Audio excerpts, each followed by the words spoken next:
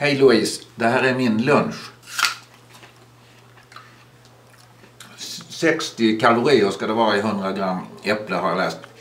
Och igår så förberedde jag mig för fastedagen för jag var på väg hem från den här Bonniers cocktailparty. Det var bara äcklig eh, plockmat så att då stannade jag till vid en av stans bästa restauranger och, och beställde in Mälargös med kantarellsås, eh, en riktig gräddig sås.